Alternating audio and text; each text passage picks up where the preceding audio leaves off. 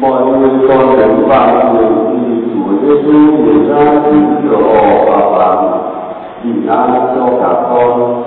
Này thầy ơi, đừng sự Nhưng mọi người bối rối tưởng mình thấy ma. Chúa là bảo sao cả con bối rối và lòng cả con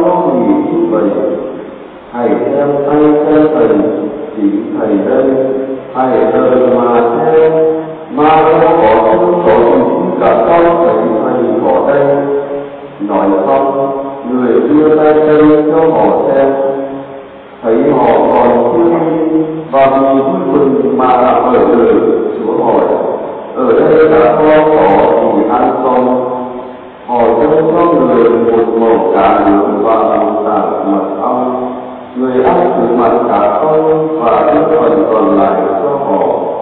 đòi người bảo đúng như lời thầy đã đòi người cả con khi thầy gọi lời với cả con là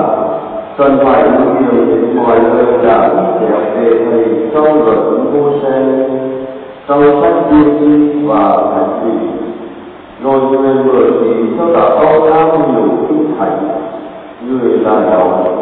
có lời dạy rằng Đức Kitô sẽ phải nhiều mất khổ và ngày thứ ba người sẽ từ khỏi chết sống lại. Rồi phải giúp các người lo tạo sự thống hối và sự ăn năn để làm ơn tha tội cho muôn dân, bắt đầu từ thành Jerusalem còn cả con cả con sẽ làm chủ Ta có thể làm chủ nhân để điều ấy. Đó là lời Chúa.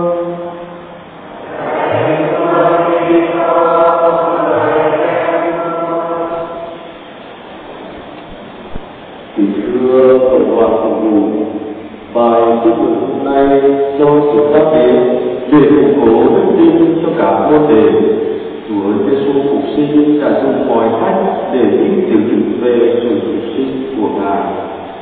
Đầu trước đó Chúa đã hiện ra với cả ba phụ nữ đạo đức, với bà Maria Magdalena, với hai môn đề trên đường về làng Emmaus. Nhưng hình như niềm tin của đa số các quốc đề còn chưa vững chắc và rất non yếu nên lần này trong khi cả quốc đề họp nhau đông đủ Chúa Giêsu lại hiện đến với cả không lần nữa ngỏ hồ xóa tan những mối nghi ngờ nơi cả ông và giúp cả ông tăng thêm niềm tin vào sự phục sinh của Ngài. Bình an cho cả con. Đây là lời chào chúc của Chúa Giêsu phục sinh, là đấng ban cho chúng ta sự bình an sự bình an ở đây vừa muốn nói đến bình an nội tâm vừa muốn nói đến tình an được thiết lập trong những quan hệ giữa con người với nhau. Đồng thời, để tiếp tục các vấn đề vững chắc là ngài đã sống lại, Chúa Giêsu đã phải tiếp nhận đưa ra rất nhiều bằng chứng.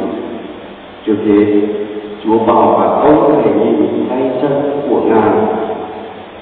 Thứ đến, người bảo họ sờ vào cả phương thức và thân thể của ngài tiếp nữa chúa đã cầm lấy cả lứa mà ăn trừng phạt cả ông và cuối cùng, chúa còn phải dùng đến bằng chứng của thánh kinh tiết bảo về ngài và lời ngài đã nói khi còn sống, để mở chỉ cho các ông hiểu tất cả đều được thực hiện nơi ngài qua đó, Chúa Giêsu cho cả quốc tế thấy rằng chính Ngài đã phục sinh, chứ không phải là ma hiện hình. Với những bằng chứng thuyết phục ấy, Chúa Giêsu đã minh chứng Ngài đã sống lại và kêu gọi cả quốc tế hãy tin làm tính về sự phục sinh của Ngài và nhân danh Ngài mà mang giải cho muôn dân kêu họ ăn năn sám hối để được ơn tha thứ. đoàn phục vụ vì về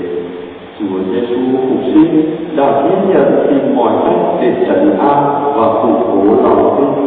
cả môn đề Khi đức tin của cả môn đề còn yếu kẻ họ thường Chúa là ba nhưng đức tin đã được củng cố, cả đốc mới này Chúa là được phục sinh thật sự. Đức tin của cả môn đề đã được củng cố nhờ được gặp gỡ tiếp xúc thân mật với Chúa Giêsu và được nghe ngài giảng nghĩa thánh kinh. Đức tin của chúng ta cũng vậy, còn rất non yếu. Chúng ta phải biết bắt được các vấn đề để củng cố đức tin của mình bằng cách ngăn gặp gỡ Chúa Giêsu. Phải để gặp Chúa trong thánh lễ đặc biệt là trở thánh lễ Chúa hay để gặp Chúa trong các giờ đi cách kia là những giờ đi trong gia đình với nhau hay để gặp Chúa nhất là gặp Chúa trong từng giờ cầu nguyện riêng tư một mình đối diện, tâm sự, thân mật với Chúa. Hãy phụ cố đức tin bằng cách học hỏi thánh kinh, đọc thánh kinh hàng ngày để hiểu biết Chúa hơn suy điểm thánh kinh để tìm ra thánh ý Chúa. Và nhất là, hãy biết thực hành lời Chúa dạy trong đời sống hàng ngày. Khi đã gặp lời Chúa và hiểu thấu lời Chúa chúng ta sẽ nhìn thấy Chúa trong tất cả các biến cố vui buồn của đời sống. Cuộc sống chúng ta sẽ tràn đầy hy vọng, niềm vui, bình an và hạnh phúc. Đồng thời, Chúa Giêsu cũng đã đặt trao cho cả vấn đề sứ mạng làm chứng về tin mừng phục sinh. Và Chúa cũng tiếp tục trao bỏ sứ mạng đó cho tất cả mọi người khi tôn chúng ta vâng lời của các vấn đề đã ra đi lên đường du toàn sứ mạng và họ tin mừng phục sinh và đã làm chứng cho tới trong khoảng cuối cùng trong bài học buổi hôm nay thánh Phêrô đã được lên lòng chứng cho toàn dân Jerusalem về Chúa Giêsu bị đóng đinh, đã chết và đã sống lại. Và ngày hôm ấy đã có thêm khoảng ba ngàn người theo đạo. Trong bài học hai, cũng đã làm chứng về Chúa Giêsu Kitô đứng công chính chính người là hy lễ lễ hy sinh để dùng tội lỗi cho chúng ta và còn đền bù tội lỗi cho cả thế giới.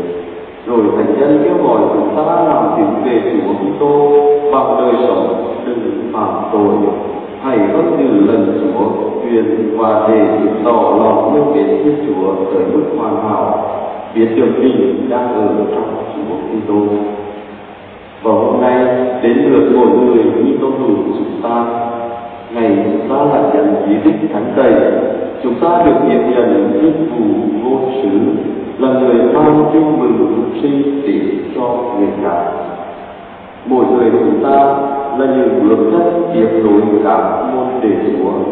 tiếng nói của chúng ta không truyền tiếng nói của cả ngài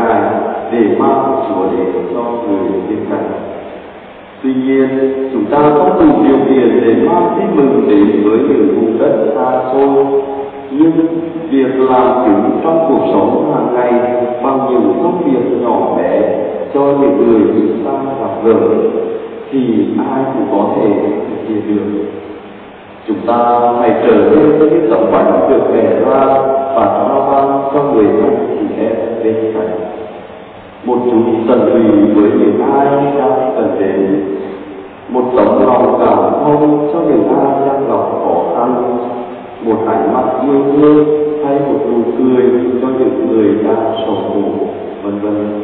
Tất cả đều là những cử chỉ vẻ bánh là những lời từ sống động về tin mừng Chúa phục sinh. Nhờ đó, người khác sẽ nhận ra Chúa Giêsu phục sinh đã hiện diện từ chúng ta kính thưa cộng đoàn phục vụ buồn đường nhớ buồn, ăn quả, nhớ người trồng cây. Trong tâm tình tạ ơn và tri ân của thơ Satina Trần Thị Ngọc Huyền, hôm nay chúng ta họp nhau trong ngôi thể đường đạo phủ Xuân Sơn phân phương này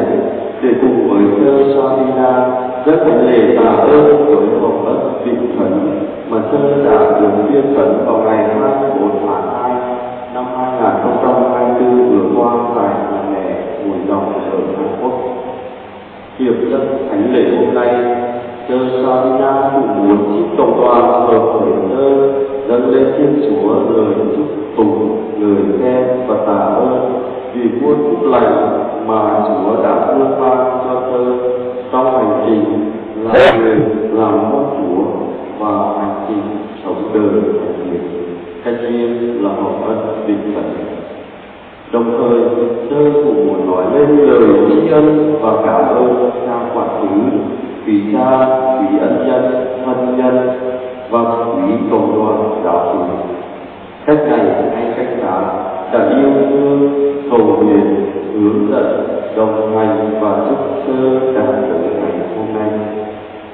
Hồng ân bình khẩn quả thật rất cao trọng và quan trọng do hành trình của một người sống đời phải hiền. Nhưng đây không phải là bài viết, mà là một một mốc đánh dấu tính dứt khoát và chắc chắn của người sống đời thánh hiền trong một cuộc sống mà mình đã có. Và cùng thật ý nghĩa khi sơ Sabina của chúng ta đã chọn cho mình câu trong ngôn không có thầy, anh em chẳng làm gì được chắc hẳn sơ rất ý thức được những gì mình có và mình làm được đều là niềm ân ban và tình yêu thương của thầy thánh Giêsu đồng thời, cũng muốn nói với con người đồ đông của thơ là nước cày dựa vào ơn Chúa hơn là sức của bản thân. Cũng như một hiện đại được sức màu lòng không có của Chúa